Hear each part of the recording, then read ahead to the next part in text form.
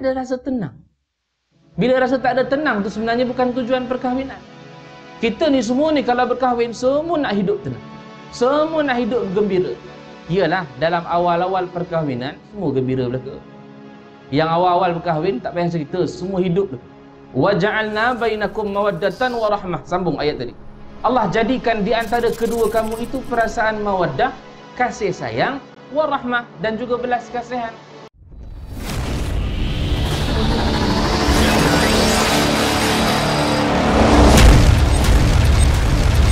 Baik, tuan-tuan yang dirahmati Allah sekalian. Tajuk yang Ustaz berikan pada saya, saya segan Ustaz kat sini. Sebab guru saya ada bawah ni. Jadi, ialah ada guru pun bagus. Bila salah, ustaz boleh tegur sana. Mudah-mudahan eh. Ha, kita tak alim. Nak bawa pula topik yang bukan pengalaman yang banyak. Topik yang diberi petua membina keluarga bahagia. Saya ingat tuan-tuan lagi mahir daripada saya daripada sudut pengalamannya. Kan? Nak kata banding dengan saya berapa tahun baru kahwin. Tetapi yang kita nak kongsikan malam ini bukan pengalaman sahaja tetapi teori yang ada dalam Al-Quran dan Sunnah untuk diserap masuk dalam kehidupan. Sebab tak ada contoh lain yang kita boleh tiru melainkan Nabi saja. Sebab itu dalam Al-Quran Allah sebut surah Ali Imran ayat ke-31 kata Allah Qul in kuntum tuhibbunallaha fattabi'uni yuhibbukumullah wa yaghfir lakum dhunubakum Wallahu ghafurur rahim. Allah kata, katakan wahai Muhammad. Kalau betullah kamu cintakan Allah, fattabi'uni, maka ikut aku, kata Nabi. Ikut aku, kata Nabi, ikut aku. Yuhbibkumullah. Allah akan balas balik cinta kamu. Sebab itu, bila mana kita katakan nak ikut Nabi ni, sebab kita jauh dengan Nabi 1400 tahun lah. Lama. Bagaimana nak ikut Nabi? Di sinilah ulama bahaskan macam mana nak ikut Nabi. Banyak cabangnya untuk ikut Nabi. Salah satunya ialah ikut akhlak Nabi. Laqad kana lakum fi Rasulillahi uswatun hasanah.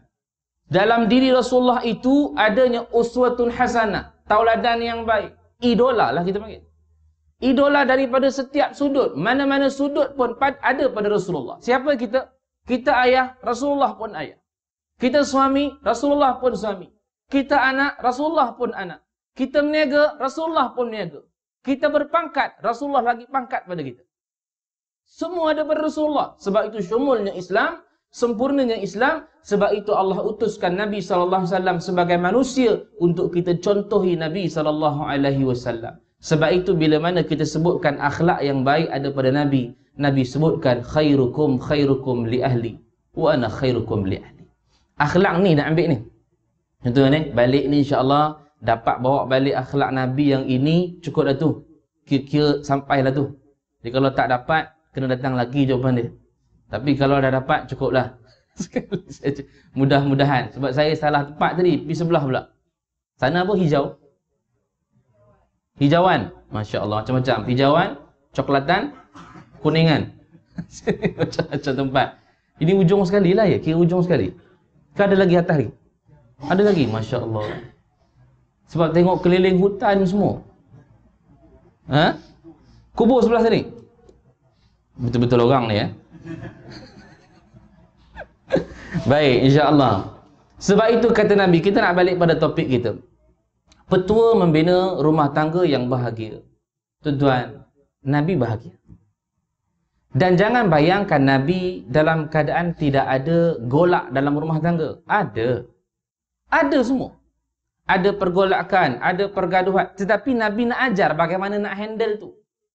Tak mungkin kehidupan Nabi dalam keadaan, harus, sifat harus bagi Nabi ialah sifat yang sama macam manusia.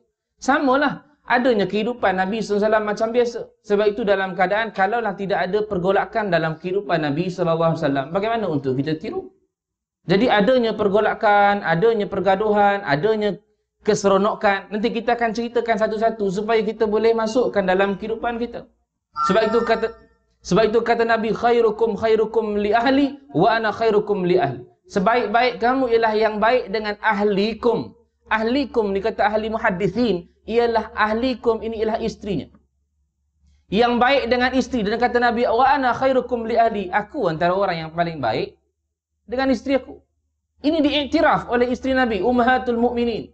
Semua isteri Nabi iktiraf, Nabi adalah orang yang baik. Tak ada komplain. Tidak ada berat sebelah. Tidak ada yang tidak dijanjikan oleh Nabi untuk tidak ditunaikan. Tak ada. Semua ditunaikan. Itu Nabi.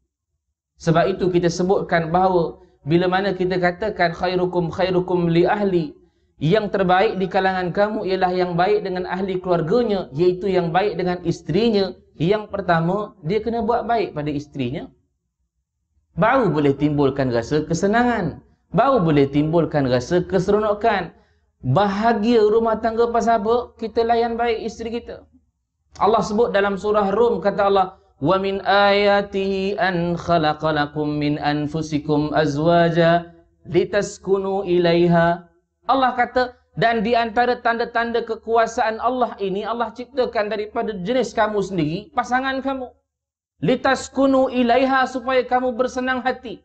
Sakinah adanya perasaan tenang. Kita hidup ni nak duduk dalam rumah tangga nak hidup tenang ke ataupun nak hidup bergaduh saja tak mau, kita pun tak mau hidup bergaduh. Syekh Mutawali Sya'rawi dalam kitabnya Ummahatul Mukminin dia membahaskan tentang ayat litaskunu ilaiha tidak ada pada Zaid bin Harisah. Sebab itu turun ayatnya untuk berpisah. Sebab itu turun ayatnya memerintahkan Nabi SAW untuk berkahwin dengan Zainab binti Jahsyid. Kata Syekh Mutawali Sya'rawi, litaskunu ilaiha bila Zaid bin Harisah kahwin dengan Zainab binti Jahsyid, tak ada rasa tenang. Bila rasa tak ada tenang tu sebenarnya bukan tujuan perkahwinan. Kita ni semua ni kalau berkahwin semua nak hidup tenang. Semua nak hidup bergembira. Iyalah dalam awal-awal perkahwinan semua gembira belaka. Yang awal-awal berkahwin tak payah cerita semua hidup belaka. Wa ja'alna bainakum mawaddatan wa rahmah. Sambung ayat tadi. Allah jadikan di antara kedua kamu itu perasaan mawaddah, kasih sayang, warahmah dan juga belas kasihan. Kata Profesor Hamka dalam tafsirnya Al-Azhar, mawaddah ini di awal perkahwinan. Warahmah itu bila dah lama kahwin. Warahmah ni belas kasihan. Mawaddah bila mana permulaan yang kita nak bincangkan ini iaitu yang pertamanya adalah untuk nak melayan baik isteri kita. Samalah dengan isteri pun melayan baik suami kita. Samalah ibu bapa pun melayan baik anak-anak kita. Sebab kita cerita keluarga. Bukan suami isteri saja. Tapi keluarga ni semua kena layan baik semua yang ada dalam ahli keluarga. Sebab itu kata Profesor Hamka, mawaddah ini berlaku di awal-awal perkahwinan. Oh yang awal-awal kahwin, baru-baru kahwin, dia tak perlu buat-buat mawaddah ini. Pasal dia memang sendiri timbul. Sebab zaman kita ni cinta dulu. Cinta dulu, kemudian dah ada rasa cinta berputik, kemudian baru kahwin. Awal-awal dulu kahwin, cuba lihat. Kemana saja semua pergi. Betul kan? Kemana semua, semua pergi. Jalan pergi supermarket sama-sama yang abang nak pergi supermarket. Jom kita belikan, beli ayam, dia pun berjalan. Tak mau lepas, pegang tangan, jalan. Kadang siap bergurau tu, tengok bang, ikan tu senyum kat awak, kata dia. Nak sebutkan bahawa waktu itu mawadah timbul. Mawadah timbul, tapi bila dah lama kahwin, kita 30 tahun, 40 tahun kahwin, mawadah tu hilang. Yang abang nak pergi supermarket ni beli ayam. Ikut bang, tak payahlah, awak tu jalan lambat, gaut pula, kata dia. Dia kutuknya pula orang tu. Mana pergi hilangnya mawaddah? Mawaddah dah hilang. Sebab itu Allah sambung warahmah. Bila kita timbulkan perasaan belas kasihan, mawaddah tu hidup balik. Tapi sebab kita tak ada perasaan belas kasihan. Tak ada. Kita tak ada rasa belas kasihan. Pasal kita dah rasa macam, Yalah Ustaz, dah lama kahwin. Dulu mungkin dulu mungkin mula-mula kahwin, muka mengadap muka. Kan? Pasal dulu mula-mula kahwin, muka mengadap muka. Seronok tengok muka. Kalau boleh tak mau tidur lah tengok muka awak. Awak ni macam bulan purnama kata dia. Awal dulu dulu. Sekarang tak ada maknanya dah. Punggung mengadap punggung dulu. Pasal apa tak mengadap? Macam mana nak pandang ustaz gigi pun dah tak ada. Subhanallah. Hilang semua perasaan mawaddah. Mana pergi hilang? Tuan-tuan kena ingat ya. Nabi bila berkahwin dengan istrinya setelah Khadijah, lebih kurang usianya nak dekat 60 dah. Baik, saya cerita. Khadijah, Nabi kahwin dengan Khadijah usia Nabi 25 tahun. Tak apa, khilaf tu tolak tepi. Kita ambil yang biasa, normal. Bila mana Nabi SAW, Khadijah, maaf, bila mana Khadijah meninggal dunia, maka Nabi SAW kahwin dengan Saudah binti Zam'ah, ini isteri Nabi yang kedua. Dan Nabi kahwin dengan Aisyah radhiyallahu anha, tahun yang sama. Jadi bila mana Nabi SAW duduk di Mekah, tiga orang ni je isteri Nabi. Lain tak ada. Bila yang Nabi kahwin ramai? Bila Nabi berhijrah ke Madinah, masuk satu hijrah, lepas dua hijrah, baru Nabi kahwin dengan Hafsah binti Umar. Isteri keempat. Baru Nabi kahwin dengan isteri kelima, Ummu Salamah, Zainab binti Khuzaimah, Maimunah Al-Harith. Sampailah habis. Kata Syekh Mutawali Syarawi, isteri Nabi belas-belas. Yang tak ramai orang cerita. Ha? Ada yang dicerita, ada yang dituliskan dalam kitab Syekh Mutawali Syarawi yang kahwin, tetapi yang tidak pernah berlaku persetubuhan pun ada. Ada yang berkahwin, yang berlaku persetubuhan, tapi tak duduk, dalam keadaan tak duduk lama pun ada. Itu semua dicerita, tidak diceritakan pada pada umum. Tetapi yang jelasnya yang ada sembilan orang ini sahaja ketika mana wafatnya Nabi SAW. Ada sembilan orang yang tinggal. Tuan-tuan, nak sebutkan bahawa apa? Bila di Madinah yang baru Nabi boleh hidup dalam keadaan yang selesa. Boleh berjalan dengan Aisyah, boleh berjalan dengan Hafsah, boleh berjalan dengan Zainab, boleh berjalan dengan isteri si Nabi, boleh bergurau. Bila? Ketika mana di Madinah. Tuan-tuan kena ingat, Nabi berhijrah ke Madinah, usia Nabi dah 53 tahun, 54 tahun dah. Nabi kahwin dengan Hafsah 55 tahun dah. 56 tahun, 57 tahun. Nak dekat 60 dah. Tapi masih lagi kecintaan Nabi pada isteri-isteri Nabi itu berputik-putik. Kita awal saja. Awal saja. Tapi bila dah lama tu, kadang-kadang tak seronok lah Ustaz. Kadang bukan saya Ustaz. Isteri saya lah pasal dia seronok sangat main cucu tu. Ha, cucu pula dia main. Kadang cucu datang rumah dia. Dia suruhnya suami dia tidur bawah. Bang tidur bawah. Biar cucu tidur atas. Sian orang tua tu. Sejuk-sejuk tidur bawah. tak ada belas kasihan. Warahmahnya hilang. Sebab itu Allah sambung. Warahmah itu sebab ada belas kasihan. Tak apalah cucu datang pun. Tapi sebab apa kita nak jadikan dia sebagai warahmah? Sebab kita nak jadikan sebagaimana permulaan dulu kita mula-mula bercinta. Mula-mula dulu bercinta, semua indah belaka. Indah tuan-tuan. Kadang-kadang orang perempuan pun kadang dia cover. Makan pun kalau bagi mi, mi goreng sepinggan, makan dua lai. Kan? Punya cover. Tapi di rumah, dua pinggan makan. Nah, cepat depan orang aja lain jadi gitu. Sebab itu, dalam keadaan kita tahu itulah sebenarnya yang nak disampaikan oleh Islam bahawa keharmonian rumah tangga itu mesti dihidupkan balik dengan kasih sayang. Sekono tengok Nabi. Bila Nabi SAW duduk di Madinah, Nabi SAW selalu ajak Aisyah radhiyallahu anha main kejar-kejar. Ni ini adalah amalan Nabi. Biasanya Nabi meraihkan isteri Nabi macam tu. Sebab Aisyah muda, bagi yang tak larat Nabi tak layan begitu, Nabi layan lain lah. Tapi nak sebutkan bahawa bila mana dalam keadaan muda, Aisyah ni muda, Rasulullah layan seperti orang muda. Walaupun ketika itu si Nabi 60 dah. Kata dia kata kata Nabi wasallam, "Ya Aisyah, ya Humairah, Jom kita main kejar-kejar, main lomba lari. Daripada sini sampai sana. Kata Aisyah, jom ya Rasulullah. Seronoklah, muda. Bila dah suami ajak belum berlari, dia pun lari. Lari sampai ujung sana. Tengok-tengok Nabi sampai dulu. Bila Nabi sampai dulu, Nabi pusing belakang, Nabi tengok muka Aisyah masam lah. Muram-muram. Pasal kalah. Biasalah budak-budak kan. Bukan budak-budak. Budak lah maknanya muda. Bila pusing belakang tengok muka Aisyah muram dah, kata kata Rasulullah, tak apa ya Humairah, kita lagi lagi sekali. Daripada sana sampai sini pula. Bila sampai nak dekat sampai dah Rasulullah sengaja lengahkan larian, tengok Rasulullah. Hebat. Wa ana khairukum li ahli kata Nabi, aku orang yang paling baik dalam keluarga aku. Aku orang yang paling baik, baik layan isteri aku. Ni. Rasulullah boleh menang. Nak kata Rasulullah boleh menang memang boleh, tapi Rasulullah sengaja lengahkan larian Sehingga Aisyah boleh kejar Rasulullah sampailah di depan. Akhirnya Aisyah lompat kegembiraan disebabkan kemenangan yang dia dapat. Rasulullah seronok bila mana tengok Aisyah seronok. Hebat. Inilah sebenarnya keharmonian. Dan besok cuti sekolah. boleh ajak suami, isteri lumba lari di padang bawah tu. Bang, besok kita main kejar-kejar kata dia. Apa kena awak ni kita dah gaut diajak main lumba lari sesuaikan dengan situasi. Ha? Sesuaikan dengan situasi. Bukan maksudnya dalam keadaan kita kena main kerja-kerja juga. Tak. Maksudnya dalam keadaan kita spend time juga masa. Macam mana dulu kita boleh spend time sama-sama, macam tu juga kena spend time masa sekarang ini. Sebab nak timbulkan balik kasih sayang tu, mawadah tu. Sebab mawadah tu hilang. Mawadah tu hilang. Awal-awal dulu kahwin, kalau mawadah, mawadah itu ada, kentut wangi lagi waktu tu. Wangi tak ada masalah punya. Minta maaf bang terkentut pula. Tak apa wangi. Bau strawberry. Kentut apa awak pakai? Itu dia. teruknya kita ni kan pasal apa dah buta dengan cinta tapi bila dah lama kahwin usia dah 40 tahun 50 tahun 60 tahun kentut dia marah awak tak ada kerja kesik buang angin tu lah kata jangan makan macam-macam tadi dia marah pasal apa pasal mawadah itu telah hilang warahmah itu nak kena timbulkan balik. Bila timbulkan warahmah mawadah itu akan muncul. Tuan-tuan nabi lah antara orang yang paling terbaik yang boleh menunjukkan bagaimana cara untuk nak mengharmonikan rumah tangga. Kita lah antaranya dalam keadaan kenapalah dalam keadaan kita ni tak ada rasa tenang? Kenapalah dalam keadaan rumah kita ni? Ibu-ibu isteri-isteri ni?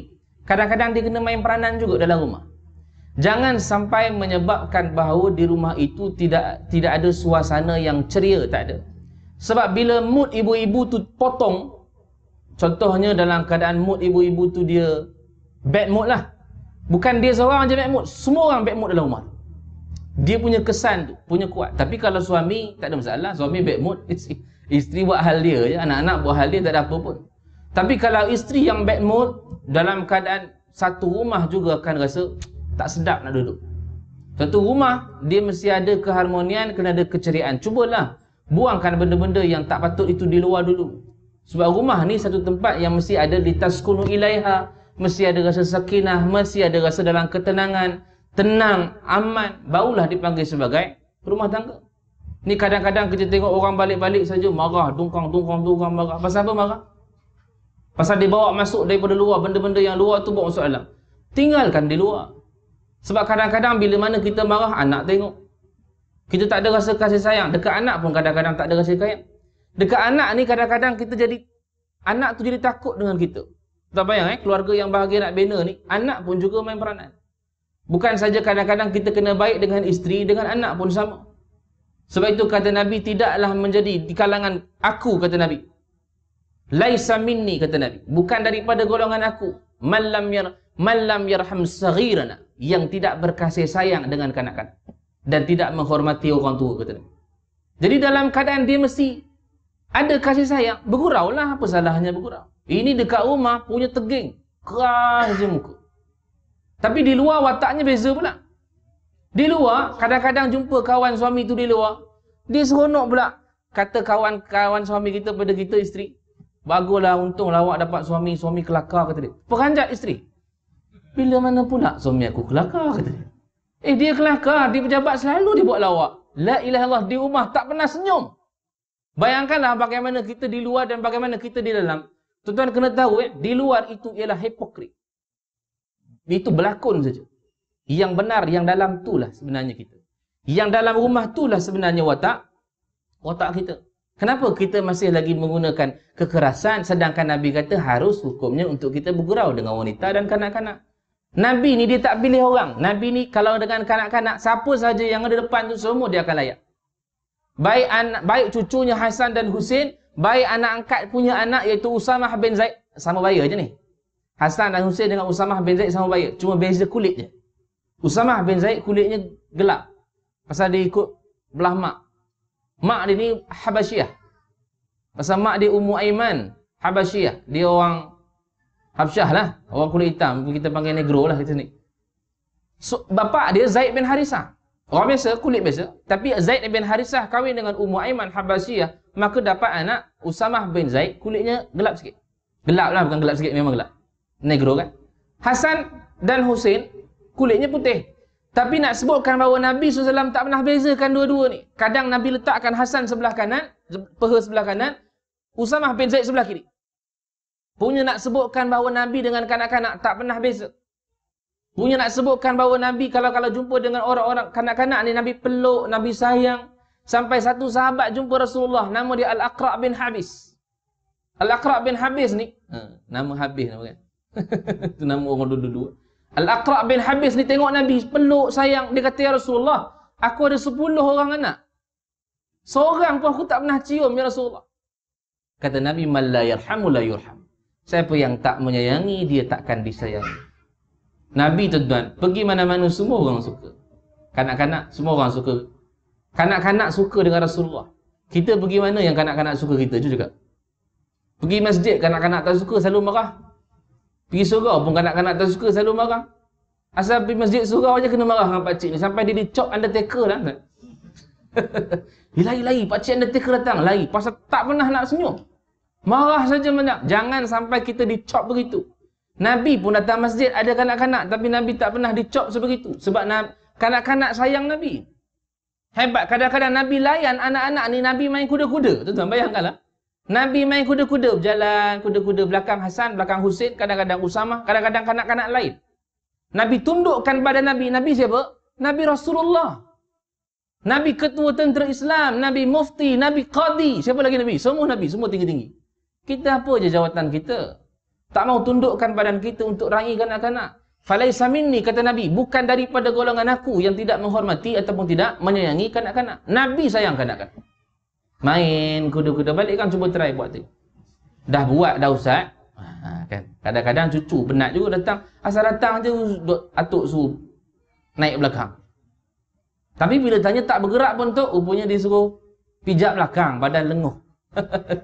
Tak bergerak pun tu kata dia. Bukan main kuda-kuda. Dia tipu je budak tu main kuda-kuda. Kadang-kadang kena sebutkan bahawa Nabi ni semayang, semayang, datang cucunya, duduk ke belakang, Hasan. Tengah semayang, sujud, duduk ke belakang. Dia ingat atuknya main kuda-kuda. Sampai satu hari sahabat tanya, sahabat terfikir kenapa Rasulullah ni lama sangat sujud ni, waktu ni. Rasulullah tengah sujud, sahabat semua semayang lah di belakang. Semayang jemaah, di masjid lah ni. Di masjid. Tiba-tiba datang Hasan, cucu Rasulullah, duduk belakang Nabi. Dia ingat atuk dia main kuda-kuda. Rasulullah tak bangun. Sahabat di belakang tengok, deng, uh, sahabat di belakang rasa, apa yang lama sangat Nabi? Kalau kita agak-agak apa buat? Intai sikit lah. Intai sikit lah kemarin dia kan. Apa yang lama sangat? Tak pernah lama pula imam. Ah, ini lama pula kata dia. Intai-intai tengok imam hilang. Rupanya imam batal. Ketut. Imam pun satu hal mana boleh keluar dalam sujud. Tuan-tuan pun ya juga. Okey, keluar topik sikit buat mereka. Imam tak boleh keluar waktu sujud, imam tak boleh keluar waktu rukuk. Tak boleh. Jadi macam mana nak buat? Takbir je intiqalat dulu, kemudian keluar. Jadi bila sujud yang pertama itu dia batal contohnya. Janganlah terus-terus sujud yang pertama itu dia batal, dia terus keluar. Kesian orang belakang. Subuh pukul 6.30, pukul 8.30 tak bangun-bangun sujud lagi ni. Lama mana imam sujud ni kata dia. Takbir intiqalat dulu. Takbir intiqalat. Allahu Akbar. Dah ada orang nampak kita keluar. Keluar. Habis siapa nak ganti ustaz? Orang belakang lah. Sebab itu orang belakang ni bukan jalan-jalan orang. Dia mesti faqih. Dia mesti faqih dengan agama macam mana cara nak buat. Itu kadang-kadang tak mau duduk belakang imam. Cukup malam kau duduk belakang imam. Apa hal kan? Cik, apa hal kan? Sebab tu belakang imam kena faqih. Tengok berlaku. Tengok tiba-tiba batal. Tiba-tiba imam keluar. Bila imam keluar nak buat macam mana? Oh biasanya kalau batal disuruh bergerak ke depan. Dia pun menggonjit, gonjit, gonjit, gonjit ke depan. Dia ke depan. Kain masih lagi belakang. Batal juga pasal aurat dah terbuka. Takbir je lah kuat sikit bagi beritahu bahawa dah ada imam yang baru. Sampai dia kiam berdiri baru bergerak ke depan. Ha, ini fiqah. Ini fiqah. Jangan keluar time sujud. Jangan keluar time rukuk. Nabi waktu tu Nabi sujud. Tiba-tiba Hasan datang duduk ke belakang. Sahabat apa lama sangat. Sampailah Nabi takbir itu Nabi sahabat tak tengoklah, tak tengok atas tak tengok. Tapi bila sampai dalam keadaan uh, Nabi dah habis semayang, sahabat tanya Rasulullah, kenapa ini sujud lama sangat? Kata Rasulullah, sungguhnya cucu aku duduk diri ke belakang. Aku tak mau putuskan keseronokan dia. Allah, hebat gitu. Nabi SAW ni hebat. Tak mau putuskan keseronokan. Aku biar dia duduk atas ni sampai dia sendiri yang turun. Menunjukkan bahawa apa? dia dah puas main di belakang aku, kemudian dia turut, baru aku takbir. Kita kalau boleh, seboleh-bolehnya bangun. Bangun, pegang dia. Kan? Gitu. Tapi Nabi ajar kita begini. Itu Nabi lah tuan-tuan. Kita kan tak bangun-bangun kan, payah pula anak ni. Ay, makin lama pula anak kat belakang ni, kata dia. Aku nak kerja masa pergi kerja ni, kata dia kan. Contoh gitu. Dan nak sebutkan bahawa akhlak Nabi dengan dengan kanak-kanak. Sebab nak hidupkan suasana harmoni, suasana bahagia bukan saja dengan isteri, dengan kanak-kanak. Bila dengan kanak-kanak ni lah sebenarnya kita boleh meriuhkan suasana di rumah. Suasana di rumah riuh. Pasal ada dengan kanak-kanak seronok. Ini kadang-kadang bila ayah ataupun suami ni kadang garang sangat. Suasana di rumah jadi suram. Suram. Kan kita tak kata lah orang dulu-dulu, dulu-dulu pun kadang begitu juga. Dengar bunyi motor bapak balik. Lari habis masuk semua bilik.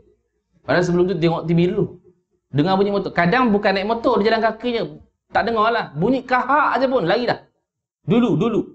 Dan sebutkan bahawa sampai keadaan kita terasa takut nak nak bersama-sama dengan nak bersama-sama dengan uh, dengan ayah kita, dengan mak kita. Ni dalam keadaan kita duduk di rumah dalam keadaan tidak ada suasana yang harmoni, bahagia. Subhanallah. Sebab itu dalam keadaan ini Nabi tunjukkan bagaimana cara untuk kita nak upgrade keluarga kita supaya jadi harmoni, jadi ceria. Sebab apa? Sebab kata Nabi, "Man la yarham La yurham siapa yang tak disayangi, siapa yang tak menyayangi maka dia tidak akan disayangi. Sayang keluarga kita. Sayang isteri kita, sayang anak-anak kita, timbulkan balik rasa kasih sayang. Bukan saja suami yang kena sayang isteri, isteri pun kena sayang suami lah. Bagaimana yang dibuat oleh um, ummahatul mukminin, bagaimana yang dibuat oleh isteri-isteri Nabi sallallahu alaihi wasallam juga sayang Nabi, bagaimana dia layan Nabi, bagaimana Nabi layan bagaimana Nabi layan isteri-isteri Nabi sallallahu alaihi wasallam. Semua dia ada tally balik. Bukan saja kita gunakan kuasa kita tengok, ustaz kata kena layan saya, awak kena layan saya lah. Mana hak kita kepada isteri pula? Jadi kena ada dua-dua ni kena ada. Walaupun hak suami lebih tinggi daripada hak isteri. Hak suami tinggi. Tinggi hak suami. Banyak. Sebab itu datang seorang perempuan jumpa dengan Rasulullah. Ya Rasulullah, apa hak seorang isteri yang mesti dibagi kepada isterinya kepada suami dia? Kata Nabi SAW, kalau ada nanah dan luka yang ada daripada muka sampai ke kaki kamu jilat masih lagi tak tunai hak suami kamu punya dahsyat ha, nak sebutkan bahawa besarnya hak suami yang disebutkan oleh Nabi wasallam. Tapi bukan bermakna bila dah cerita begini kita gunakan kuasa veto kita untuk untuk bully isteri. Tak boleh juga. Isteri pun ada hak juga. Isteri ada hak. Kalau dia tak nak kemah rumah kalau dia tak nak masak itu terpulang dia lah. Tu hak dia. Tapi saya sebutkan bila mana ada saling faham memahami bila ada kerjasama, bila ada tolak ansur, yang lebih tadi tu dia akan jadi sama rata. Dia akan jadi sama rata. Adakah Nabi gunakan kuasa veto dia untuk arahkan semua isteri-isteri? Tak. Aisyah riwayatkan bahawa, sebab ada orang tanya Aisyah, Ya Aisyah, Ya Ummul Mukminin. Dia kata, apa amalan Nabi di rumah? Apa yang Nabi buat? Aisyah kata Nabi kadang-kadang kalau baju jahit, kain dia koyak, dia jahit sendiri. Kalau kasut dia koyak, selipar dia koyak, dia jahit sendiri. Dia selalu tolong kami di rumah, dia selalu buat kemas rumah. Sebab tu dalam hadis hadis yang menceritakan tentang dalam rumah, semua yang rapat dengan Nabi, isteri-isteri Nabi, Anas bin Malik, Abdullah bin Abbas, itu semua yang rapat dengan dengan Nabi. Sebab apa? Tak ada orang tahu cerita melainkan mereka saja. Mereka yang tahu di rumah kita macam mana keadaan keadaan. Sebab itu kita ni yang paling kenal perangai kita, isteri kita. Ha tu saya kata tadi kenapa di luar dia jadi kelakar, di rumah dia tak jadi kelakar. Sebab yang paling kenal ialah isteri kita. Kita pun isteri, yang paling kenal kita ialah suami kita. Itu. Tapi dalam keadaan apa? Dalam keadaan kita tak menunjuk-nunjukkan balik apa yang sebenarnya kita kena buat, kita dah hipokrit dekat luar sebenarnya. Ha? Kita dah hipokrit sebenarnya dekat luar. Luar sana tu kadang-kadang kita berjumpa dengan orang-orang yang kawan-kawan kita, kita dah raikan kawan-kawan kita lebih lagi daripada daripada ahli keluarga. Tak apa, tak apa, tak apa, saya bayar, saya bayar, saya belanja, saya belanja makan, saya belanja minum. Tapi bak ahli keluarga tak belanja makan, tak belanja minum. Susah nak keluar duit. Oh bayarlah pakai dia dulu. Nanti saya gantilah balik. Tadi. Itu je lah modal dia pun. Mana kasih sayang kita? Mana keharmonian yang yang kita nak tunjukkan dalam dalam rumah tangga?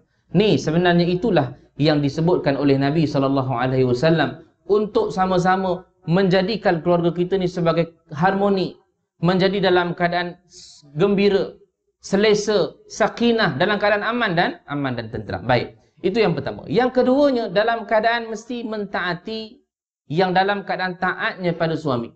Isteri mesti taat kepada suami. Tetapi taat itu bukanlah taat yang berbentuk maksiat. Taat itu mestilah taat dalam keadaan yang ma'ruf, perkara yang baik-baik saja. Sebab itu tuan-tuan bila kita mana sebutkan ada isteri yang kadang-kadang tak mau ikut kata kata suami bila bila perkara yang ma'ruf itu berlaku dia boleh jadi sebagai wanita yang nusyus sebab bila mana diperintahkan untuk melakukan kebaikan dia tak mau buat maka bila jadi nusyus saja Islam ajar kita bukan terus-terus cerai belum dalam surah An-Nisa Allah sebutkan ada lima perkara dulu yang untuk sampai kepada talak ni ada empat lagi sebelum yang pertamanya kata Allah dalam keadaan dia mesti nasihat dulu nasihatlah kalau isteri kita tak mau dengar kata kita kita suruh semayang, dia tak mau semayang. Kita suruh tutup aurat, dia tak mau tutup aurat.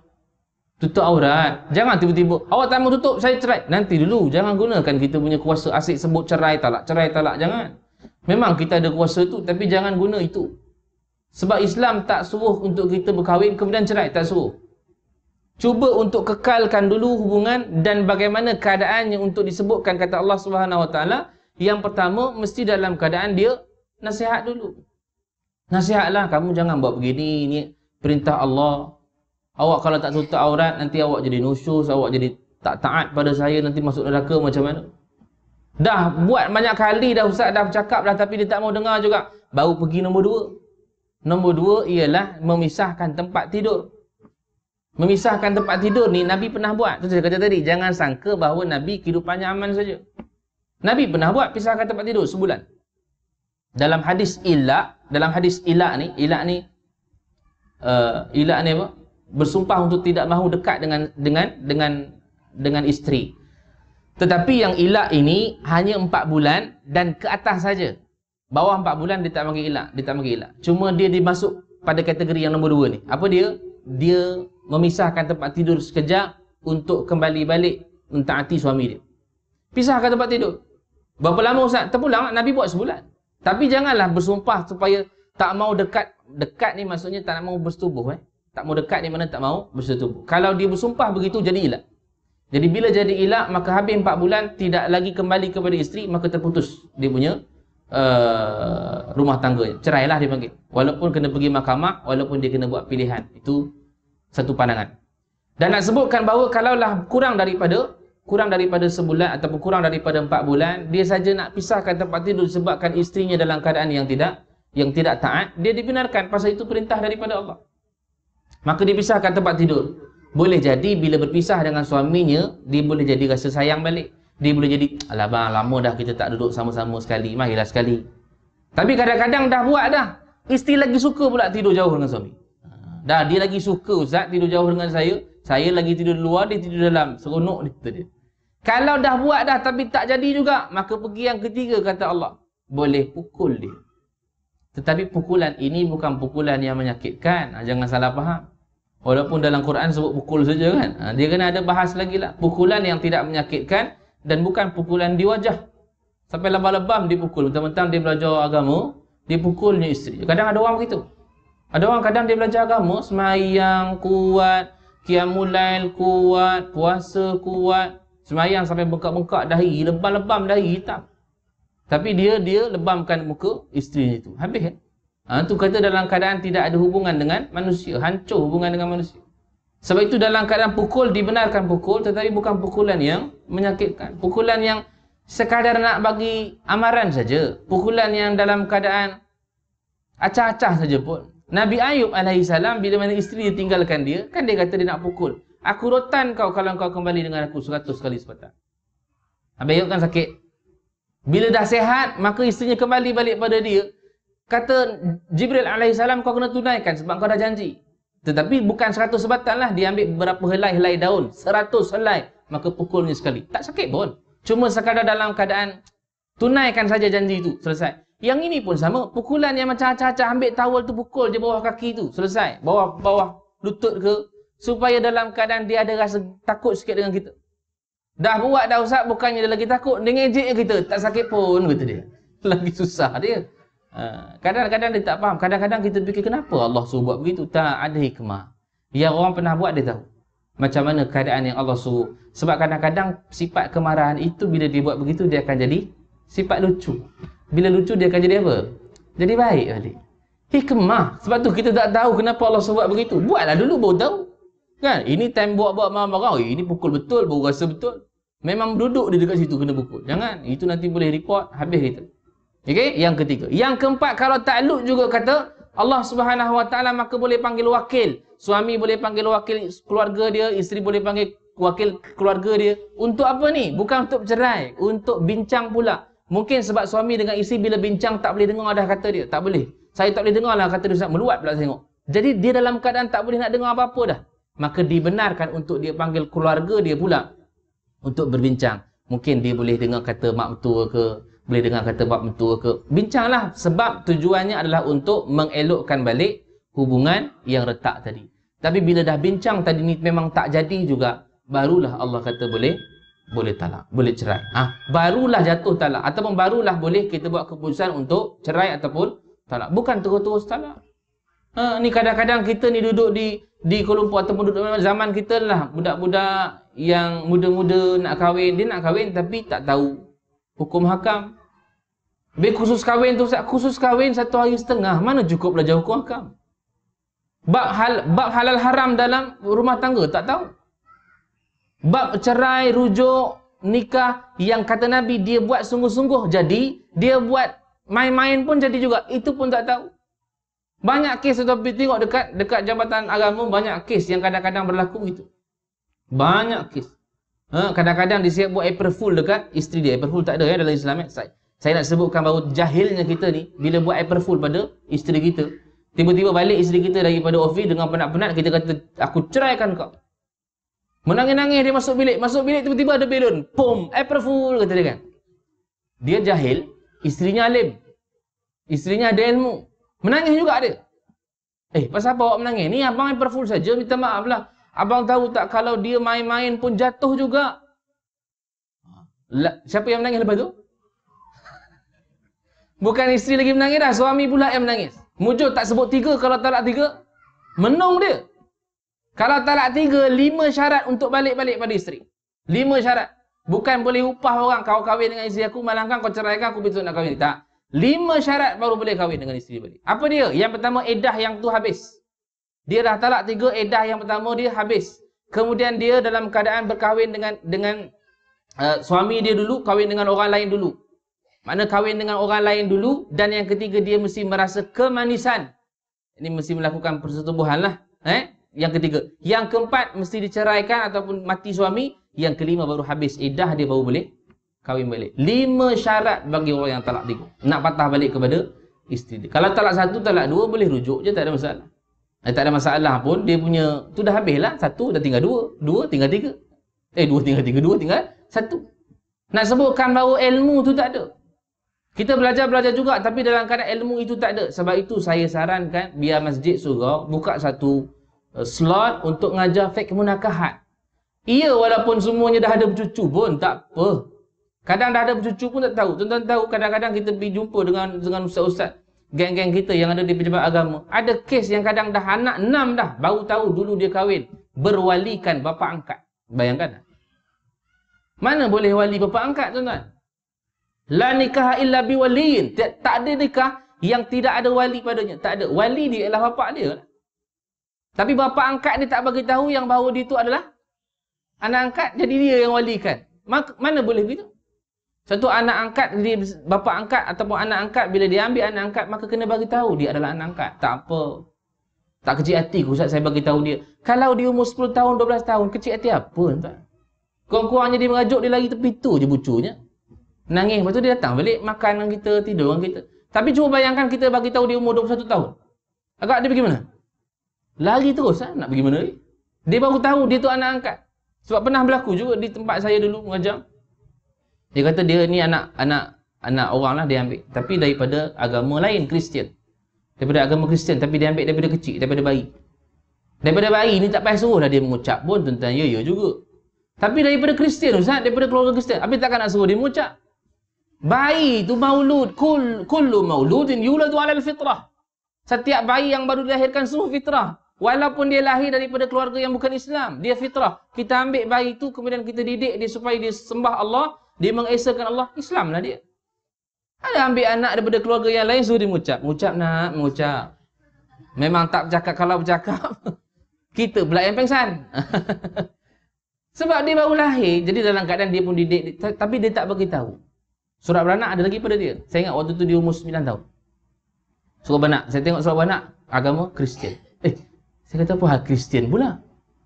Sekolah agama. Lepas tu mak, mak dia datang, dia pun cerita kan. Dia kata ni anak angkat. Oh iya ke? Tapi dia dah tahu belum? Belum Ustaz. Agak bila nak beritahu? Biar dulu dah. Saya kata jangan lengah.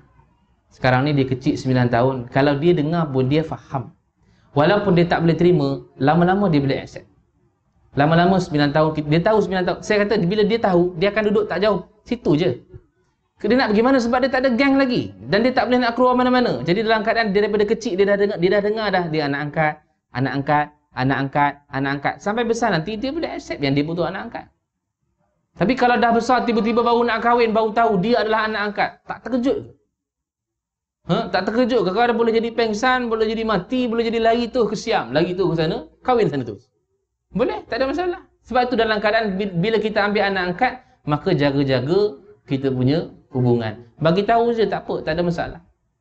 Anak tu. Eh? Jadi kena tahu hukum. Hukum ni kena belajar. Sebab tu bila cerita tentang taat tadi, bahawa suami, maaf, bahawa isteri juga kena taat pada suami. Suami juga mesti menjalankan tanggungjawab dia kepada isteri.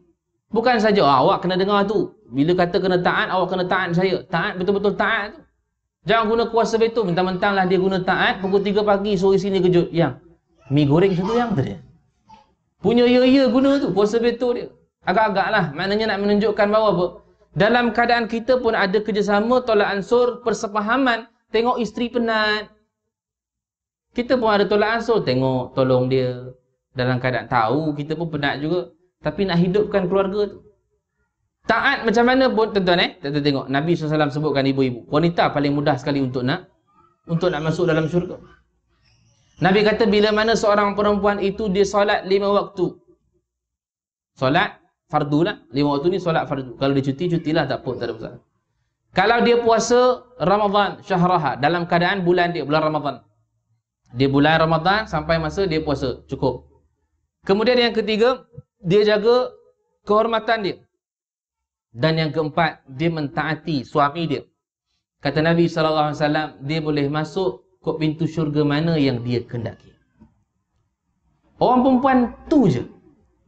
Tetapi yang paling susah sekali ialah taat ni. Sebab Nabi pernah Pernah tengok dalam neraka siapa yang paling banyak? Wanita. Nabi berdiri di atas Nabi berdiri depan pintu neraka Nabi tengok ahlinya banyaknya daripada wanita. Kenapa? Baik. Nabi sebutkan spesifikkan apa masalah wanita ni. Nabi kata dalam satu hadis riwayat Ibnu Abbas kata Nabi araaitun nar. Aku lihat dalam neraka. Fa idza aktsara ahliha an-nisa yakfurna. Aku lihat dalam neraka ni banyaknya daripada kalangan ahlinya ialah daripada kalangan wanita yang kufur. Lalu sahabat tanya, ayat furna billah, adakah wanita-wanita ni ya Rasulullah, dia kufur dengan Allah?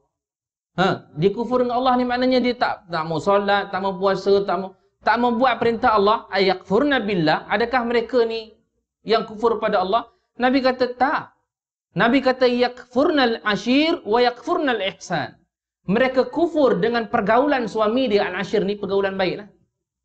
Mereka kufur dengan pergaulan suaminya dan mereka kufur dengan kebaikan yang suami buat. Ini penting. Sebab Nabi sambung kata Nabi, "Lau ahsanta ila ihdahunna ad-dahr." Kalaulah suami dia buat kebaikan setahun sepanjang tahun tu pun dia buat. Dia buat kebaikan sepanjang tahun tu, 365 hari tu dia buat kebaikan, tapi dia kata summa ra'at minka syai'an qalat ma ra'aitu minka khairan qat. Sekali je dia buat keburukan. Sekali je dia buat kesalahan dia boleh kata, aku tak pernah tengok kau buat kebaikan dekat aku. Wanita ni yang banyak masuk dalam, dia menolak kebaikan yang dia buat.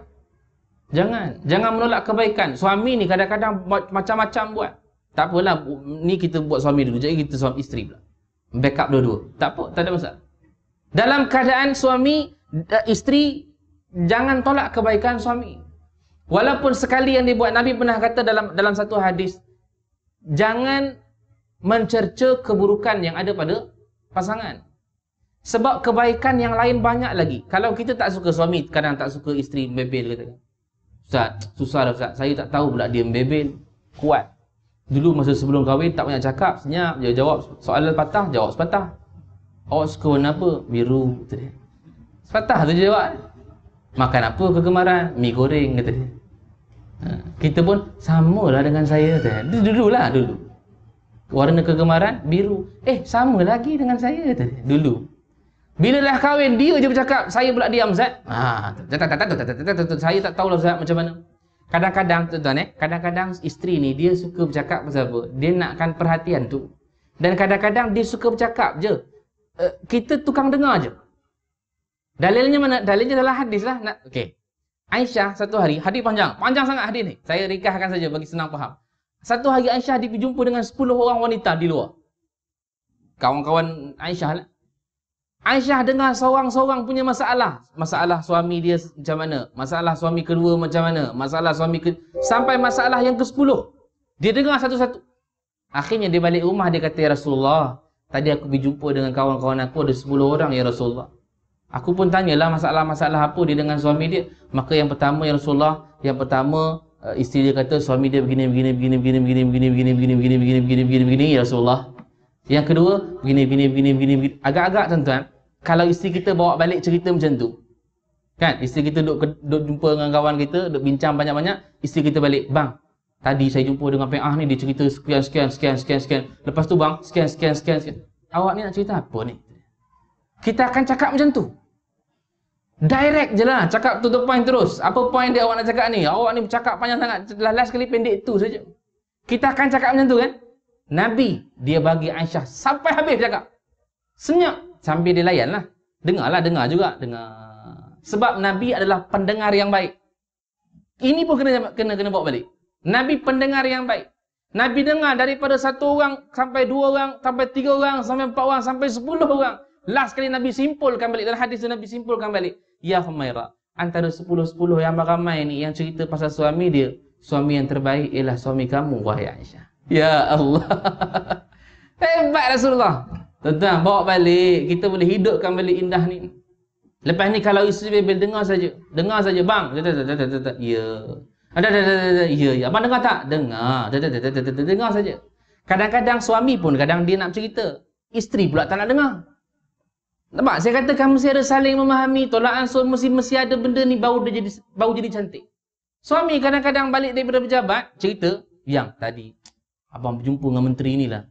Berjumpa dengan menteri, nak meeting dengan dia, abang salam dia, bergambar dengan dia. Kita boleh lekehkan suami kita. Eleh. Tahu menteri tu dia. La ilaha illallah. Kenapa kita tak appreciate dia? Kenapa tak hargai? Baguslah abang. Itulah kalau boleh saya pun nak pergi jumpa juga kata dia kan. Kita dalam keadaan kita hargai dia bila dia har, bila kita hargai dia, dia rasa seronok kita nak cerita. Isteri pun sama. Bila isteri cerita, suami kena dengar. Pergi kedai tiba-tiba kereta rosak. Orang kata kancil, kereta rosak kat sebelah depan tu. Dia buka bonet, dia betulkan sendiri. Balik dia cerita pada pada suami dia. Bang, tadi kereta rosak. Dia nak cerita je, tak nak minta tolong kita pun. Dia nak cerita saja. Kita just dengar. Tadi saya pergi kedai, kereta rosak. Lepas tu saya buka bonet, saya gosek-gosek-gosek-gosek. Eh, hidup pula kata dia. Kita boleh lekehkan dia. Alah, itu pun nak cerita. La ilaha illallah. Kita kadang macam tu. Lepas tu, isi tak nak cerita dah lah apa-apa. Suami pun kalau isteri buat macam tu, suami tak nak cerita dah. Biarlah kau aku cerita pun kau macam tu, aku tak cerita pun kau macam tu. Tak ada communicate. Nabi ni apa saja yang dibawa, apa saja yang isteri-isteri Nabi bawa, semua dia cerita. Supaya dia berkongsi begitu. Kadang-kadang ada masalah, kita ada masalah di pejabat, kita tengok, maaf, isteri kita tengok suami muka dia muram, tanya, bang pasal apa? Masalah di pejabat ke? Ya, kau apa tahu? Kau suri rumah saja. Kita pelekeh dia. Kadang-kadang idea isteri itu lebih menarik daripada idea kita. Nabi, baik. Ini tak ada contoh lain, Nabi je lah. Perjanjian Hudaibiyah. Biasa dengar kan? Perjanjian Hudaibiyah berlaku 6 hijrah. Nak pergi ke Mekah dah, nak sampai dah di Mekah. Tiba-tiba tersekat. Bila tersekat dan akhirnya jadilah uh, perjanjian Hudaibiyah, akhirnya Nabi kata, baik, semua sahabat-sahabatku, berapa ramai? 1,400 orang. Baik, kita cukur dan sembelih, kemudian kita balik ke Madinah. Semua orang down. Semua orang jadi macam tak tentu hara. Semua orang tak nak buat. Rasulullah suruh. Tapi pasal apa mereka jadi gitu? Pasal mereka tak balik di kampung halaman mereka 6 tahun dah. Tuan, ni semua muhajirin. Ansar ada. Tapi muhajirin yang balik yang daripada Mekah berhijrah ke Madinah. 6 tahun tak tengok Kaabah. 6 tahun tak tengok kampung halamannya. Jadi bila nak sampai dah sampai Umar kata ya Rasulullah, kita dah nak dekat ya Rasulullah. Bukankah agama kita betul? Betul? Bukankah kau kata kita akan masuk untuk tawaf di Kaabah? Betul, tapi aku tak kata tahunnya bila. Nabi-nabi kata cukur dan sembelih kita balik ke Madinah. Tak ada orang berjalan. Tak ada orang bangkit. Sampai Nabi pun fras. Nabi masuk ke kemah. Kemah, dia, dulu kemah lah banyak kemah-kemah-kemah. Dan waktu perjalanan musafir itu yang ikut Nabi ialah Ummu Salamah. Ummu Salamah, dia Nabi dulu kalau pergi musafir ke perang ke bagai semua, Nabi undi. Nabi undi isteri siapa yang akan ikut. Macam perang Bani Mustalik, Aisyah ikut sehingga jadinya satu peristiwa besar kan ifk. Itu cerita lain tak apa. Tapi nak sebutkan ada isteri-isteri yang akan ikut. Nabi tak pilih Aisyah saja. Jangan jangan ingat begitu. Nabi pilih siapa, siapa yang dapat, dia akan pergi. Maka Nabi pilih waktu tu dapat Ummu Salamah. Maka Ummu Salamah ikut. Nabi masuk kemah, Nabi tengok Ummu Salamah ada. Ummu Salamah tengok muka Rasulullah muram. Ummu Salamah tanya Rasulullah, kenapa muka muram? Dia kata, wahai Ummu Salamah, aku perintahkan seluruh sahabat untuk tahlul, untuk cukur dan sembelih. Tapi mereka tak buat. Jadi aku rasa down sangat. Ummu Salamah kata, ya Rasulullah, aku ada cadangan dan idea. Apa kata kamu bangun dulu. Kamu yang buat dulu. Kamu cukur dan kamu sembelih. Mudah-mudahan semua akan ikut. Rasulullah terus bangun dan buat.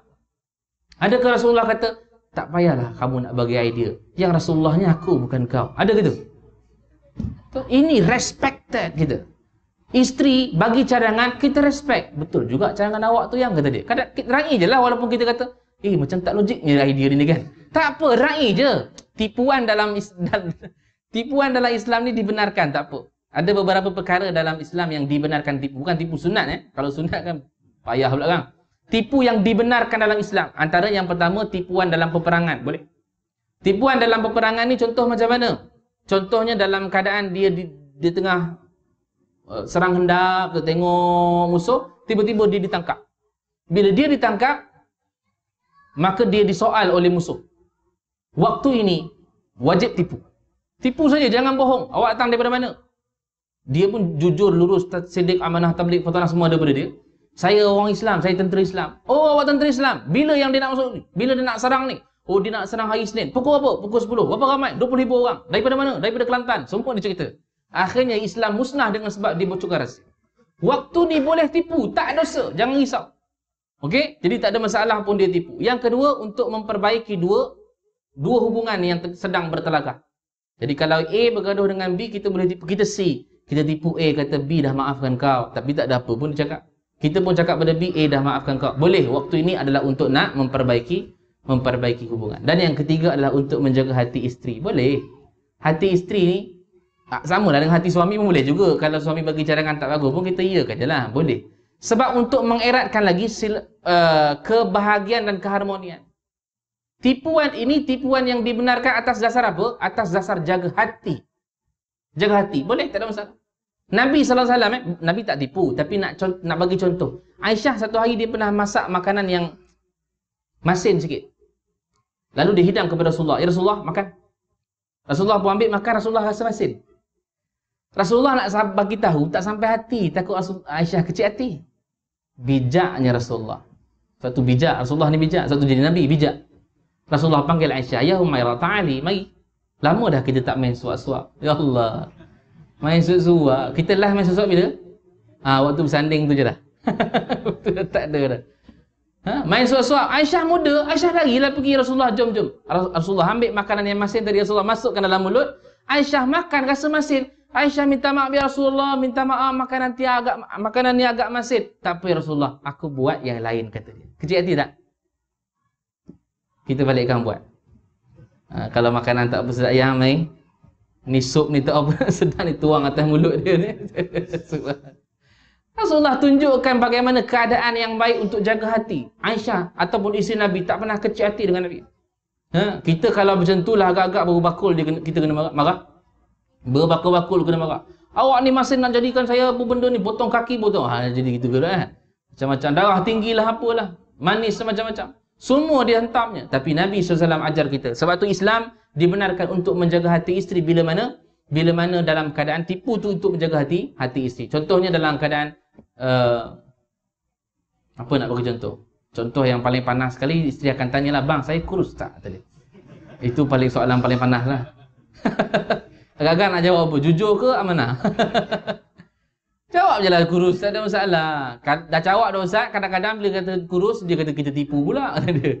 bila kita kata dia tak kurus, dia marah pula kita tarik muka. Habis nak jawab apa tuan? Ibu-ibu lah kena ambil keputusan macam mana nak jawab. Kan? Ada pun kadang-kadang dia kata, Bang, agak-agak mana lawa ni? Bag ni ke bag ni lawa? Dia nak suruh kita pilih sebenarnya. Kadang-kadang nak pilih dah yang ni. Tapi dia kata tak lawa pula. Ah, yang ni pula. Yang ni macam tak apa lawa. Ah, dua-dua tak payah ambil. Senang. Selamat duit aku kata dia. Itu tipuan yang dibenarkan pasal apa nak jaga hati isteri. Tapi kalau tipu yang benar-benar tipu, Balik-balik tengok dah pukul 1 pagi. Kan? Suaminya tadi pergi ceramah. Bang, apa balik lambat ni? Tahulah ustaz tu sampai pukul 1 tak habis-habis kata dia. Ha, bohong nampak sangat bohong. Padahal dia pergi turun bawah, pergi minum kopi, tengok bola. Itu bohong betul. Itu berdosa. Adapun menjaga hati isteri itu tidak menjadi masalah. Sebab tu bila mana Nabi SAW bila duduk dengan Ummu Salamah dalam keadaan diraikan apa? Apa yang dicadangkan eh, oleh Ummu Salamah. Sehingga kan Nabi bangun untuk tahlul dan juga sembelih. Akhirnya dalam keadaan semua sahabat seorang-seorang bangun, bangun, bangun, bangun. Akhirnya balik ke Madinah. Tahun hadapannya tujuh hijrah baru berlakunya umrah umrah qada. Itu Nabi. Itu Islam. Sebab itu Islam menggalakkan supaya kita ni raikan sesama sesama suami isteri. Isteri bagi pandangan dengar, suami bagi pandangan dengar. Baik, last ingat yang terakhir. Bagaimana untuk mendapatkan balik keharmonian? Tuan-tuan, cek semula kehidupan kita. Allah bagi kita rukun Islam untuk kita jaga dan pelihara. Kadang-kadang ada orang report, Ustaz, saya daripada start kahwin sampai sekarang tak pernah aman tak pernah tentram, mesti bergaduh, kadang-kadang mesti balik rumah mak saya, kadang-kadang bergaduh lah sampai sampai tahap saya dah tak boleh nak tengok muka dia dah. Daripada bila? Daripada awal kahwin dulu. Bayangkanlah macam mana keadaan di hidup tuan-tuan, di sini tak lain dan tak bukan ada masalah dalam kehidupan dia. Pasal apa boleh jadi begitu? Barangkali mungkin ada masalah dengan ibu dan ayah. Mungkin tak ada restu. Tuan-tuan pernah tengok anakku sezali, anakku anakku Sazali Piramli cerita Piramli sini tak tengok Piramli sini tengok apa Al-Kuliah anakku Sazali cerita Piramli. Yang mana Piramli tu kahwin dengan Zaitun. Zaitun lah nama betul ni Zaitun nama dalam tu ingat kemudian lahir, dia nak kahwin dalam keadaan bapaknya tak bagi akhirnya dia lari. Lari akhirnya kahwin Piramli dengan Zaitun dapat anak nama Sazali siap buat lagu nama anakku Sazali bila budak tu dah besar, anakku Sazali tu bagi, maaf, Piramli bagi Sazali tu duit, harta, macam-macam kesenangan. Dan akhirnya dia jadi orang yang sombong. Dalam keadaan tak ingat lagi dah ada, tak mau lagi dah dengar cakap ayah, tak mau lagi dah kawan-kawan jadi pencuri, jadi pembohong, jadi perompak. Baik, kesimpulan cerita anakku Sazali tu, tuan-tuan agak-agak rasa apa? Sebab dia bagi harta yang banyak, itu salah satunya. Yang tersiratnya ialah bila mana tidak ada restu mak dan ayah bila kahwin tu akan jadi masalah pada kehidupan berkeluarga sama ada kehidupan dia suami isteri ataupun akan jadi kesan pada anak. Kesan pada kesan pada anak. Sebab itu bila mana ada kesan pada anak ni bukan sebab salah salah didikan. Kadang-kadang kita hubungan dengan mak ayah tak jaga lagi. Mungkin kadang hubungan kita dengan adik-adik tak jaga lagi. Hubungan dengan manusia yang menyebabkan keluarga kita ni tak tak bahagia. Rupanya kita pernah gaduh dengan mak kita, pernah gaduh dengan ayah kita yang tak pernah minta maaf, akhirnya keluarga kita jadi tonggang terbalik. Bila kita minta ampun, minta maaf, berubah habis keluarga dia menjadi keluarga yang bahagia. Cek balik. Cek balik aku ni ada tak hubungan dengan mak ayah aku ni, aku bergaduh. Adik-beradik aku ni, silaturahmi kita ni, saudara mara kita, adik-beradik kita, makcik-makcik kita ni ada bergaduh. Tidak pasal harta ke, pasal tanah ke. Itu juga akan melibatkan keluarga kita tak bahagia. Kaya lah macam mana sekalipun, dalam keadaan dia tak mampu untuk nak buat kaya dia itu jadi bahagia. Tak boleh.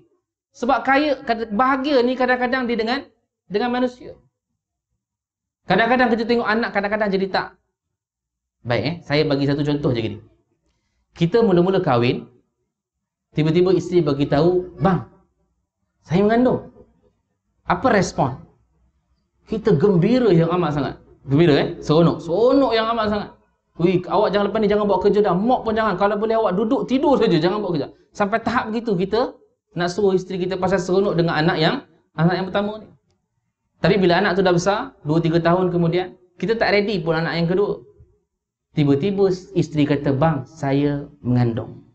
Apa respon kita? Apa? Mengandung? Dia tak rasa lagi seronok macam anak yang pertama. Tuan-tuan, bila sebut begitu, dan dia tidak ada excited dengan anak yang ada, anak tu ada kesan bila lahir nanti. Seolah-olah kita tak suka dia lahir ke dunia, maka ada kesan. Sebab itu anak kedua ke anak pertama ke anak ketiga ke bila dapat tahu anak itu ada saja, gembira je macam mana mula-mula anak yang pertama. Sebab seolah-olah kita nak dia lahir dalam keadaan kita gembira dengan kehadiran dan kedatangan. Jangan sampai, kenapa? Saya tak ready lagi kenapa tiba-tiba mengandung pula? Anak tu ada kesan. Walaupun lama-lama nanti kita akan redha. Permulaan dia tu kita dah menunjukkan kita tak suka. maka ada kesan. Kesan itu yang kadang-kadang keluarga jadi tak bahagia, keluarga jadi tak harmoni. Pasal apa? Pasal ni lah. Pasal kita punya environment, suasana hidup kita yang kita tak suka dan tak reda dengan apa yang Allah tentukan. Hubungan manusia kena jaga dan hubungan dalam keadaan kita dapat anak itu pun kena kena jaga baik. Saya nak sebutkan yang yang rukun Islam ni tadi. Bila Allah bagi tahu kita rukun Islam, kenapa kita masih lagi ada masalah dalam kehidupan rumah tangga kita ataupun kehidupan kita? Tuan-tuan cek balik lima perkara ini yang mana yang pertamanya adalah syahadah kita. Dua kalimah syahadah. Ada ke problem syahadah kita? Kadang-kadang orang tak perasan benda ni. Kenapalah hidup aku susah? Kenapalah suami aku tak nak dengar? Kenapalah isteri aku tak nak dengar cakap aku anak aku degil? Tuan-tuan, kemungkinan syahadah kita ni ada problem. Pasal apa jadi problem? Berkemungkinan kita telah melakukan sesuatu amalan yang telah terbatalnya syahadah. Cek balik. Tajdidkan syahadah tu banyak kali. Sebelum tidur tajdidkan. Perbaharukan kita punya syahadah ni. Bawa kereta syahadah. Apa saja yang kita nak buat tu renewkan balik syahadah. Dan itiqat betul bahawa Allah itu Tuhan, Muhammad itu Rasul. Selesai. Sebab kadang-kadang kita terlepas pandang, kita dah buat amalan yang telah membatalkan syahadah. Yang kedua, solat kita. Betul ke kita orang yang solat? Betul ke kita orang yang menjaga solat? Kadang-kadang solat pun lengah. Tu kadang-kadang kita tengok ada orang yang kadang masalahnya dalam kehidupan susah, dalam kehidupannya tak tenang, tak tenteram. Pasal solatnya tak jaga. Solat yang jaga ni macam mana? Solat yang jaga bila azan saja dia boleh semayang waktu itu dipanggil as-salatu ala waqtiha. Salat dalam waktunya. Sebab itu amalan yang paling utama sebab Abdullah bin Mas'ud pernah tanya Rasulullah ya Rasulullah ayyul amali ahabbu ila Allah? Amalan apa yang paling paling dicintai oleh Allah? Kata Nabi yang pertama sekali as-salatu ala waqtiha. Solat di awal waktunya kadang kita lengah kadang kita tolak zuhur pada pukul 4 kadang kita tolak asar pada pukul 6 kadang kita tolak maghrib sampai pukul 8 Kan kan cerita habis pukul 8 kan? 7 sampai pukul 8 baru habis bos semayang. Kadang subuh tolak terlajak sampai pukul 8.30. Walaupun kita semayang tetapi ada problem pada penjagaan semayang itu ada kesan dalam kehidupan. Zakat kita sama. Ni rukun Islam yang ketiga, zakat kita sama. Kadang-kadang kita katakan kita layak untuk bayar zakat tapi kita tak bayar. Bukan zakat fitrah. Saya ingat zakat fitrah semua orang bayar. Pasal tengok semua orang beratur, dia pun beratur. Tapi yang dia maksud ni zakat harta ni. Kita ada simpanan, kita ada emas, kita ada perak, kita ada ternakan, kita ada macam-macam. Benda yang ini dipanggil sebagai orang yang layak, cukup haul dan nisab, cukup bayar, kena bayar. Kadang-kadang kita tak perasan benda tu, akhirnya kita hutang dengan Allah sebab dengan tak keluarkan zakat. Jadi ada masalah dalam dalam kehidupan. Puasa kita yang keempat sama juga. Puasa-puasa juga. Kadang-kadang dia puasa dalam keadaan puasa saja, menahan lapar dan dahaga. Tapi hati tak pelihara, kutuk orang, dengki pada orang, takabur, riak, ujub. Dan puasa ni juga tuan-tuan, dia boleh dimasukkan sekali makanan yang dibawa masuk kepada dalam perut isteri, perut suami, perut anak. Adakah halal ataupun haram? Itu main peranan. Kalau masuk makanan yang haram, makanan yang syubha, maka ini yang lahir darah-darah yang tak sehat, yang tak baik, yang tidak elok akhirnya menjadilah anak yang isteri yang tak dengar kata tak taat pada Allah Subhanahu Wa Taala. Sebab makanan tu masuk gitu makanan yang haram. Haram ni dua jenis eh tuan-tuan kena faham. Haram ni dua jenis. Satu haram yang memang mutlak kita tahu dah. Babi haram uh, arak haram. Itu semua adalah yang zahir. Tetapi ada yang dalam keadaan yang tak zahir yang kata kita katakan bahawa itu halal tapi dia boleh menjadi haram. Bila? Bila kita claim claim tipu bila kita masuk waktu pejabat, kita lengah masuk waktu pejabat, balik pula awal. Gaji yang dibayar sama. Kita tipu pelanggan. Katakan ini baik, kata tak baik. Duit yang dapat itu dalam keadaan yang haram. Dalam keadaan kita balik bawa makanan, bawa makanan duit yang kita bagi itu beli makanan, bagi pula anak makan, bagi pula isteri makan. Habis. Kadang-kadang siap isteri, suami isteri ni nak bagi anak periksa besok, pen, pensel tak mau beli. Pergi ambil pula dekat ofis majikan punya. Buka almari, Ambil pen, ambil pensel, ambil pembaris, ambil madam. Bawa balik bagi anak. Nah, bawa besok pergi periksa. Yang diambil itu barang yang tak halal. Melainkan kalau dia dapat izin majikan, itu cerita lain. Tapi tak tahu. Dia ambil daripada benda yang tidak halal, maka dia bagi anak dia untuk bela untuk belajar dan juga periksaan. Nak berkat macam mana? Habis. Tidak ada keberkatan di situ. Dan yang terakhirnya ialah haji. Bila mana dalam keadaan kita sebut haji, ada orang yang kadang layak dah pergi haji pun. Dia kata tak cukup lah Ustaz, tak cukup. Cuba cek balik, tolak balik benda-benda yang kita rasa benda yang tak sepatutnya. Tolak balik. Agak-agak cukup ke tidak? Iyalah Ustaz kalau kita daftar sekarang pun belum tentu daftar sekarang 2000 berapa sekarang ni? 2020. Eh, 2020. Daftar sekarang 2132 baru keluar. 100 tahun Ustaz. Dia betul dia daftar. Daftar anak-anak ni 100 tahun kemudian baru ada. Saya pun duk kira-kira Ustaz. So, umur saya sekarang 43 tambah 100, 143. Ustaz rasa saya ada lagi tak umur ni kata dia. Tuan-tuan itu tak payah cerita. Yang membawakan kita pergi haji ni ialah Allah. Itu panggilan Allah. Yang pastinya Allah nak tahu, Allah nak tengok kita ni dah cukup duit, daftar saja nama, kemudian dalam keadaan kita tak membazirkan duit itu pergi tempat lain, yang kita katakan tak cukup, tak cukup, tak cukup, tak cukup. Rupanya duit ada, pergi beli kasut. Duit ada, pergi beli handbag. Handbag dah banyak, kasut dah banyak. Orang perempuan kasut sampai berapa? 12 dekat rumah kasut. 12 pasang, kaki dua je. Kan? Handbag beratur dekat almari tu punya banyak. Coklat, kuning, biru, semua ada lah handbag. Nak kena, nak samakan match dengan tudung dia. Itu perempuan. Sedangkan bila kira-kira tolak-tolak talik, eh cukup dah rupanya pergi haji. Ini masalah yang ada rukun Islam. Kenapa kita masih lagi dalam keadaan tak tenteram dalam keluarga, tak bahagia dalam keluarga, tak harmoni dalam keluarga? Sebab rukun Islam tidak ditunaikan dengan sempurna.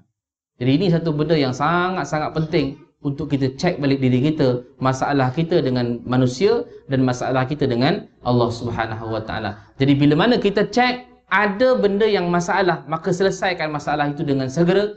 Mudah-mudahan Allah akan tunjukkan jalan yang terbaik untuk kita keluar wa may yattaqillaha yaj'al lahu makhraja. Siapa yang bertakwa pada Allah maka Allah akan tunjukkan jalan keluar bagi dia. Walaupun hutang yang banyak Allah akan tunjukkan jalan keluar, jalan keluar, jalan keluar. Syarat dia wa man yattaqillah. Siapa yang takwa pada Allah, takut pada Allah, Allah akan tunjukkan jalan keluar bagi dia dan mudah-mudahan apa yang kita bincangkan malam ini membenar-benarkan menjadi inspirasi kita untuk menjadikan keluarga kita bahagia walaupun dalam keadaan kita ini tidaklah hidup semewah mana, dalam keadaan kita tidaklah dalam keadaan tidak sesenang mana, tetapi kebahagiaan itu tidak dipandang daripada harta dan kemewahan, kebahagiaan itu terletak dalam hati dan pergaulan kita. Mudah-mudahan kita di pilih oleh Allah Subhanahu Wa Taala untuk berada dalam majlis-majlis ilmu yang lain dan mudah-mudahan kita berjumpa lagi pada majlis-majlis ilmu yang lain dan kalau tidak berkesempatan kita bertemulah di dalam syurga Allah Subhanahu Wa Taala. Jadi saya rasa cukup sekadar itu dulu. Mohon maaf Ustaz terambil masa yang lama. Mudah-mudahan saya tengok tak bergerak okeylah tu. Ke tak bergerak tu macam tutup mata. ha, mudah-mudahan ada manfaatlah insya-Allah. Wallahu alam. أقول قولي هذا وأستغفر الله العظيم لي ولكم. السلام عليكم ورحمة الله وبركاته. أعوذ بالله من الشيطان الرجيم. Bismillahirrahmanirrahim. Alhamdulillahirabbil alamin wassalatu wassalamu ala asyrafil anbiya'il mursalin wa ala alihi washabbi ajma'in. Ya Allah ya Rahman ya Rahim, kami menadah tangan memohon kepadamu ya Allah, ampunkanlah segala dosa kami, dosa kedua ibu bapa kami, dosa pasangan dan anak-anak kami, dosa kaum kerabat kami, dosa kaum muslimin dan muslimat sekalian ya Allah. Ya Allah matikan kami dengan mati yang baik, jangan matikan kami dengan mati yang tidak baik. Kurniakan kematian buat kami dengan kalimah la ilaha illallah. وصلى الله على سيدنا محمد وعلى آله وصحبه وسلم والحمد لله رب العالمين تقبل الله منكم